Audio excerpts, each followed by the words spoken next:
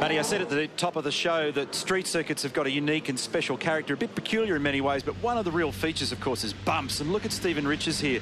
This is the bumps on the approach to turn three, and this is just a sample of the kind of stuff and the body language that goes with the explanation there to Phil Keady's engineer.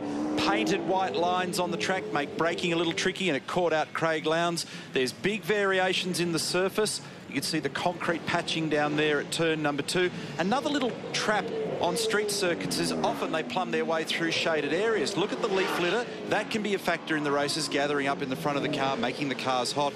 And of course, if it rains, or should I say when it rains, then those shady areas stay wet for longer. Talking point also, turn four, the chicane, the curbs are high. You talked before about Jamie Whincup breaking the front right suspension. He did it on the exit curbing on the front right-hand corner there. And so a little bit of attention to this area of the track yesterday as they reconfigured the tyre bundles at the apexes and had to think about it. Now, another big drama and a talking point yesterday, Will Davison, great run at the Grand Prix, great run at Eastern Creek, tough run yesterday, ended up up the wall and ripped the front right-hand corner out of that car. Very heavy impact down the right-hand side, and here's why on board. You'll see a little shudder here bang. He clipped the inside wall between turns six and seven. Camera went blank when he smacked the wall.